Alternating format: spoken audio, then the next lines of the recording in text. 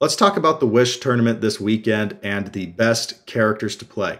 If I was playing in the Wish, I would play Death Younger Toguro, and this is the build that I would go with. I have tested this build quite a bit. I've had a lot of team members that want testing into Death Younger, and so I've been um, playing Death Younger to be nice on that front. But also, when he was first revealed, I immediately thought he was cracked, and I started getting to work on a Death build because I think Death gets the best spam foundations, and the highest quality of an attack lineup. I have made a lot of changes after testing for a long time, and this is ultimately the list that I would play. I think that this list is in strong contention for the webcam regional for me.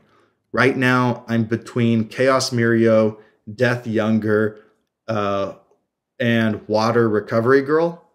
I, I want to play Recovery Girl, but I think that she's got some bad matchups that are going to be difficult to overcome. Younger and Mirio are easier to play, right? You just kind of turn off your brain and do the thing. You don't turn your brain off completely. There's still skill to playing the game, obviously, but they're just a little simpler of a play style than other characters. They still require skill, don't get me wrong. Um, an unskilled pilot is not probably going to do very well and take down an event with Younger Toguro, but the skilled players who pick this deck up probably will do quite, quite well. Let's talk about the choices that I made and why. The deck size as a whole is 63 cards, and I'm playing 23 attacks. That is a pretty aggressive attack ratio. But remember, Younger is helping our progressive difficulty. He says after your attack resolves, build it face down. So you're getting plus one foundation and you're clearing your card pool meaning that you can play a much higher attack ratio than normal and not get punished for it. I believe that more decks lose because they didn't draw attacks than that they checked poorly. More decks lose because they drew foundations than that they checked attacks. Because a lot of times when you build out to a really nice stage of 10 plus foundations, checking a few threes doesn't matter. And Younger is going to clear your card pool one during the turn. He's going to net you a foundation during the turn. So you're allowed to play a higher attack ratio. I think if you're playing this guy with a normal attack ratio of 30 to 33%, you're doing it wrong. You can very easily get away with playing a 40% attack ratio on this character. Now, this isn't quite there, but it is aggressive. 23 attacks. I want to see orange. I want to play some orange, right? If I'm going to be a relatively aggressive character, give me attacks. Next up, the next thing that my attack lineup is doing is pressuring my rival's stage. Younger does not add speed on face. He's not doing anything to make sure that your attacks get through. He's clearing your progressive, he's stacking a lot of damage on, on, on his attacks. So I want to be playing things that are fast. I want a good amount of speed on my attacks to put pressure on my rival. So I'm not interested in any two speed or three speed attacks. I see a lot of Death Younger lists running like Vial Seizing and Jawjammer. I think personally that is a mistake. There's better things to be doing. I don't want to let my foot off the gas. I want to keep putting pressure on my rival and forcing them to commit down resources if they want to block my attacks. For that reason, you can see I've got Twisting Azure Inferno, which is like four speed, but if I turn it on and I say that my rival's checks are getting minus one, it's like plus one speed to all of my attacks. Piercing Needle, I love in Younger Toguro. I'm going to talk a lot more about this card. I think it's the MVP of this deck. If you're not playing Piercing Needle in your Death Younger Toguro, I, I personally think you need to change that. It's four speed, but you can say this attack is plus two speed and minus two damage, making this a six speed attack and then you can stack damage on it with Younger Toguro. So if you're at eight foundations, this is a six mid seven. It has EX3. It has Deadlock Stun 3. It's a one high block. This card is doing it all. Six speed move, four speed move, four speed move, four speed move, four speed move, 80% power, four speed. That's most of the time is six speed move. So I want nothing below four speed. I want to keep that pressure on my rival stage. The other way that I'm pressuring my rival stage is through snack time and frightening calm. Three snack time, three frightening calm. So I can stun my rival stage out. If I get two of these on board, then all of my attacks are getting stunned too, and they're all relatively quick, just on their face. Because a lot of players right now are not blocking in this meta. There's a lot of players who just are not blocking. They're using their stage to have resets and damage reduction, and then they're playing like barrier shield or referee jury, runaway. They're playing all of these things from their hand to not take that much damage. So they're not interested in blocking because they want to keep their stage up for all this damage reduction. You know, they want like Weapon Clash, Toughest Punk in Junior High, all of this damage reduction, Broken Psyche. They want all of this to be up. What giving Stun 2 to all of your attacks does is not let your rival do that. They can't just sit back and not block. They can't sit back and not block and and uh, just reduce all of the damage on your attacks. Number one, damage reduction, just you have to have a lot of it to have it mean anything against younger. But number two, this says, hey, you're going to have to use your resources soon, or I'm going to commit them all down. And now, if you're blocking, your resources are just going to get used that much faster because all of my moves are relatively fast. The last way that I'm pressuring my rival stage is through Punisher's Beam and 80% power. 80% power, I get to selectively just point, click, destroy. Destroy that foundation. Oh, Broken Psyche, that's nice. Get it out of here.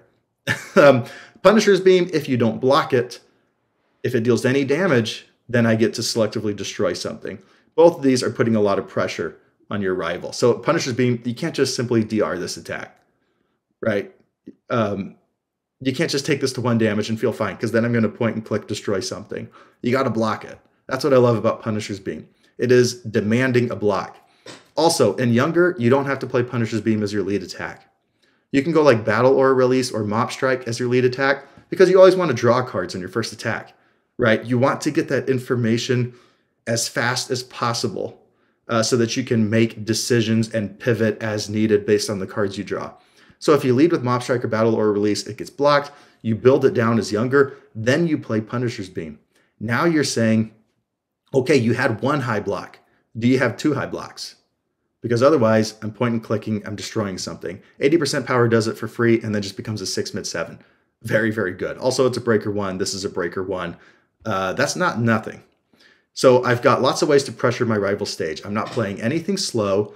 I'm playing this stun game plan. Refreshing Slice also comes into that for momentum, right? We need momentum outs for Punisher's Beam. If we're going to be getting this free momentum, then we can use Refreshing Slice to also stun our rival stage out. Now we have eight spam foundations all putting pressure on our rival stage. We have fast attacks putting pressure on a rival stage, and then we're selectively destroying foundations. We're just we're just not letting up the pressure, and eventually the attacks get through and Younger makes it. All you have to have is a few attacks hit. Uh, we are 4xing all of our good attacks. Battle Aura Release and Trace Size, they just have to be 4xed. You can't not 4x these cards. Trace Size is crazy. This is crazy. And Younger, this is going to be like a 4 low 8 free Echo. Uh, that's not fair. Battle Aura release is going to be a 4 high 8. Then you use younger. It's going to be like a 4 high 12, 4 high 14 that draws you a card. That's not fair. Mob Strike is going to just basically let you filter your hand out.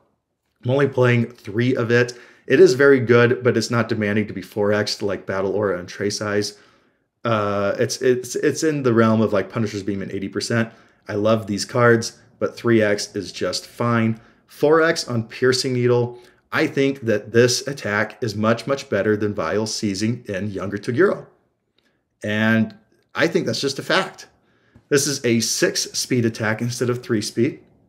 It is your best momentum out. We have no other momentum outs other than tray size if we don't want to destroy a ready foundation. But this is EX3. EX3. You have two momentum. You're going to say this is a 12 speed attack. It also has Deadlock Stun 3, which pairs really, really nicely with Snack Time, Refreshing Slice, and Frightening Calm. If they go, and you have all sorts of ways to push your rival into deadlock. You can push your rival into deadlock on face with younger. You can push your rival into deadlock with 80% power. You need a way to punish your rival for going into deadlock, and there's almost nothing better than stun 3. You say stun 3 with a snack time and a frightening calm, you said stun 5 on this attack. You say stun 5 all EX3, they're just not blocking that. And it's a one high block. I love everything about what Piercing Needle is doing in this card, all in this deck. Also, Piercing Needle is the best thing you can grab off of Punisher's Beam because it says in the momentum, after your unblocked attack deals damage, your rival loses two health. So it's another two damage. If your rival does not block your Piercing Needle, don't build it down. You do not always have to build everything down as Younger Toguro your lead off attacks. If your leading attack does damage, Keep it in the card pool. Play another 4 diff on a 5. When they block that one, build that down. Don't be building down your unblocked attacks. Build down your blocked attacks, the things that aren't getting you momentum. Okay, after that point, everything about the deck goes to defense. And the defense here is through basically disruption and resets is what we're focusing on. We have some surviving the, you know, our zero diffs. Of course, we got surviving the final, one of the best zero diffs. Um, this one's just blank, but we're struggling on low blocks here. Speaking of struggling, we got 3x struggling with studies to grab something back into our hand. We have a lot of draw in our foundations with settling old debts and blood evaluation. Blood evaluation is very, very underrated right now. We have a lot of people doing momentum shenanigans with face-up foundations. The bottom enhance on blood evaluation is playable while committed, and it is not once per turn. The only thing once per turn about this card is the response that you get to draw.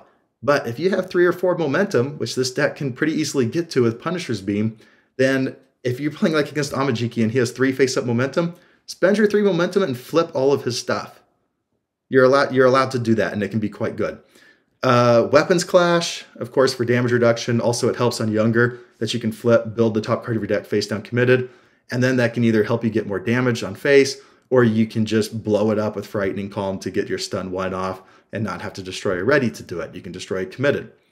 Always cool is awesome in this character. It can allow you to very quickly build a huge stage, or it can just be a hey, you can't modify the damage of that attack.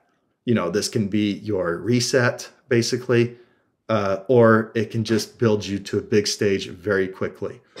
I really like Always Cool going second. It helps you, it helps um, equalize, you know, it helps you equalize pretty quickly with the player that went first. A couple learning to harden, you can destroy it to draw a card with either weapon clash or frightening calm, or you can just commit it for minus two speed. We're not playing a lot of speed hate here. Learning to harden, surviving the final is really it. Pretty much this deck is blocking once maybe blocking twice, and then we're just face tanking everything else. That's why cards like Always Cool and Weapons Clash are so important. They allow us to face tank more attacks. Facing danger is very, very similar. We're going to take only five damage instead of, let's say they made like a 20 damage move. Hey, we'll destroy it, take it to five. But it's also really nice because if they're playing any sort of stun and they commit this card, then you can like unflip your Keiko's Aid, for example.